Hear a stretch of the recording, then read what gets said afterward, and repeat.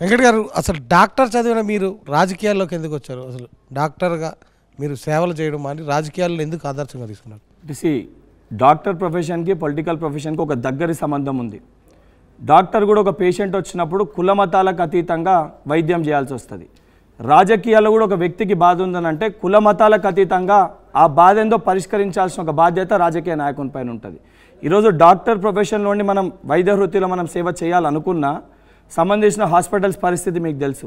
ఒక doctor operation సక సక సక్రమంగా చేసిన తర్వాత కూడా గాంధీ హాస్పిటల్ చూసుకుంటే వెంటిలేటర్ సక్క లేక ఎల్కలు కొట్టేసి అనేక మంది పేషెంట్స్ చనిపోయిన సంఘటనలు మనం చూసాం సరే సగం బయటికి వస్తే సగం బయటికి రావు. కానీ సిస్టమ్ని చేంజ్ చేయాలంటే ఈరోజు ఎందుకంటే యువత కానీ నా ఎస్పెషల్లీ డాక్టర్స్ ప్రొఫెషనల్ రాజకీయాల్లోకి రావాలన్నా రాజకీయాల్లోకి వచ్చినా చదువు రాకపోతే రాజకీయాల్లోకి పోతారని మమ్మల్ని వెలేసినట్టు చూస్తారు. ఆ పర్సెప్షన్ని చేంజ్ చేయాలనే ఉద్దేశంతో నేను రాజకీయాల్లోకి రావడం జరిగింది. అంటే ఎన్ని కోట్లకు మీరు ఎమ్మెల్సీ సీట్ కొనుక్కున్నారు? ఎందుకంటే కాంగ్రెస్ పార్టీ అంటేనే డబ్బులు మూటలు ఇస్తేనే ఢిల్లీలో పెద్దలు కరుగుతారనేటువంటి అపవాదం ఉంది. స్వయంగా మీ ప్రస్తుతం ఇప్పుడున్న మంత్రి కోమటిరెడ్డి పీసీసీ అధ్యక్షుడు రేవంత్ రెడ్డి యాభై కోట్లు కొనుక్కున్నాడు అన్నారు. మీరు ఎన్ని కోట్లు ఇచ్చారు? బలం వేసుకునే కోట్లు అంటారా అన్న? ఈ కోట్లు అంటారా ఈ కోట్లు అన్నారు. మరి నా కాడైతే ఈ కోట్లు ఇయ్య నీకు కోట్లు అయితే ఏం లేవు. ఒక కాంగ్రెస్ పార్టీ కార్యకర్త దగ్గర ఎన్ని కోట్లు ఉంటాయో బలమూరి వెంకట్ కాడ అన్నయ్య కోట్లు ఉన్నాయి. మరి ఒక కార్యకర్త దగ్గర ఎన్ని కోట్లు ఉంటాయని చెప్పి మీరు భావిస్తారో అన్నయ్య కోట్లు నేను ఇచ్చిన. అంటే నిజంగా మీకు న్యాయం జరిగింది అనుకున్నారా ఒక కార్యకర్తగా? ఈ న్యాయం కంటే ఎక్కువ ఈరోజు పార్టీ నా పైన ఒక బాధ్యత పెట్టింది.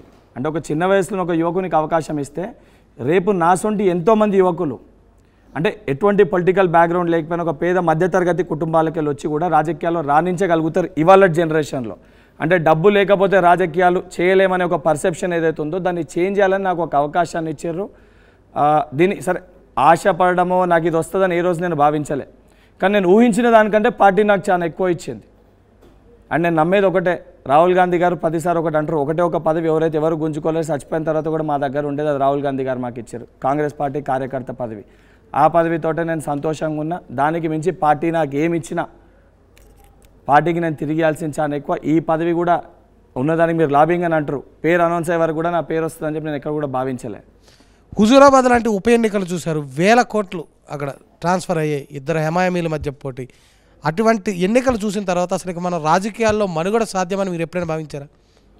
అంటే ఎవరికన్నా కూడా అంత పెద్ద ఓటమి చూసినాక బయట వాళ్ళేమో నా అంటే నేను పడని వాళ్ళేమో బలి పశువు బలహీనుడు అని బయట వాళ్ళు తిట్టారు నేను నేనంటే నచ్చిన వాళ్ళు కూడా అరే పాపం వెంకట్ని బలి చేసిరని వాళ్ళు కూడా తిట్టారు సో హండ్రెడ్ పర్సెంట్ మనిషిని కాబట్టి ఏదో కోణంలో నాకు కూడా కొంచెం బాధ ఉంటుంది. సరే ఇంత కష్టపడ్డాము ఇంత తిరిగినాము ఇంతగానో మాట్లాడగలిగినాము చెప్పినాక కూడా ఆ, మూడు వేలు ఓట్లే పడ్డాయి. ప్రజలేంది డబ్బుకి ఓటేసిరు అన్నాక. కానీ అక్కడ ఉన్న ప్రాబ్లం ఏంటంటే టీఆర్ఎస్ పార్టీ ఓటుకు ఆరు వేలు ఇచ్చింది.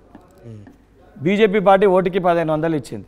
అయినా కూడా బీజేపీ పార్టీకి ఓటేసారు అంటే ఆడిద్దరు వ్యక్తుల మధ్యలో సెంటిమెంట్స్ మధ్యలో మీరెంత ఇచ్చారు? మీరెంత ఇచ్చారు? నాకు ఆడు ఇయనీకి ఏమున్నాయి నాకు ఆడు ఇయనీకి పైసలు ఉంటే బాగానే ఉండి పరిస్థితే ఉండేది కాదు కదా. నేను ఇవ్వగలిగింది ఏంటంటే నేను పడ్డ కష్టాన్ని నా శ్రమని ప్రజలకి చెప్పిన అండ్ ఆ పరిస్థితుల్లో మూడు వేల పన్నెండు ఓట్లు పడి కూడా చాలా ఎక్కువ. ఎందుకంటే మ్యాన్ టు మ్యాన్ మార్కింగ్ చేసి ప్రతి కార్యకర్తను కూడా man to man person to person మొత్తం యంత్రాంగం అటు కేంద్రంలో వాళ్ళ యంత్రాంగం రాష్ట్రంలో వీళ్ళ యంత్రాంగం ఒక దిక్కేమో ఆర్థిక బలం మరొక దిక్కు భయభ్రాంతులకు గురి చేసిన ఆ పరిస్థితిలో కూడా మూడు వేల ఓడించారా పని కట్టుకుని ఆ ఎన్నికల్లో? ఆ ఎన్నికల్లో ఎక్కడ కూడా వాళ్ళిద్దరి మధ్యలో రేస్ స్టార్ట్ అయ్యి ఆరు నెలలు అవుతుంది. వాళ్ళు ఎక్కడనో వంద కిలోమీటర్లు పోయి ఉన్నారు. నేను దాని తర్వాత ఎంత యువకున్నా నేను ఉరకగలిగి ఎంత ఉరకగలిగినా కూడా నేను చేరుకోలేకపోయినాను. సరే ఆ పరిస్థితులలో ఇద్దరి మధ్యలో పోటీలో బల్మూరి వెంకట్ పోటీలు ఉన్నాడని చెప్పి ప్రజలు భావించలే. నాకు ఓటు వేద్దాం అనుకున్న వాళ్ళు కూడా వెంకట్కి ఓటు వేస్తే ఓటు వేస్ట్ అవుతుంది. ఓటు వేస్ట్ అయితే అది అధికారంలో ఉన్న టీఆర్ఎస్ పార్టీకి లాభం చేకూరుస్తుందని చెప్పని నాకు ఓటేలే తప్ప వెంకట్ని విమర్శించో వెంకట్కి వ్యతిరేకంగానో దానికి చిన్న ఎగ్జాంపుల్ నేను అక్కడ స్థానికుని కాదు. కాకపోయినా నేను ప్రచారం చేసి బలంగా టీఆర్ఎస్ పార్టీ బీజేపీ పార్టీ ఇద్దరిని తిట్టగలిగిన ఎక్కడ కూడా ప్రజలు నా పైన తిరుగుబాటు చేయలే. నాకు వ్యతిరేకంగా దాడి చేయలే. అంటే నేను యాక్సెప్ట్ చేసినట్టే కదా. మీ సొంత పార్టీ నేతలే మీకు ఆ ఎన్నికల్లో అన్యాయం చేశారు కదా. తిరుపతి డబ్బులు పంపించారు కానీ ఉప ఎన్నికల్లో కనీసం మీకు సహాయం కూడా చేయలేదు అనేటువంటి వార్తలు వచ్చాయి వాస్తవం కదా? సొంత పార్టీ నేతలు సహాయం చేయలేదు అని అంటే సరే ఎవరి పరిస్థితులు రాజకీయ పరిస్థితులు వాళ్ళ వ్యక్తిగత పరిస్థితులు సహాయం చేసిర్రా చేయలేదా? అధికారికంగా అఫీషియల్గా ఏదైనా ఎవిడెన్స్ చేయలేదని ఉంటే నేను మాట్లాడగలుగుతా. కానీ నాకు సంబంధించిన వరకు నాకు టికెట్ అనౌన్స్ అయినాక పార్టీలో ఏ నాయకుడు కూడా ఏ ప్రశ్న అడ్రస్ చేసి ఇది తప్పు అని చెప్పి మాట్లాడి సరే ఎలక్షన్ రిజల్ట్స్ తర్వాత ఏమొచ్చినాయని పక్కన పెడితే టికెట్ అనౌన్స్ అయిన రోజు ఏ ఒక్క నాయకుడు కూడా ఇది తప్పు అని చెప్పని ఎక్కడ కూడా మాట్లాడలేదు. మీరు క్రాస్ చెక్ కూడా చేసుకోవచ్చు.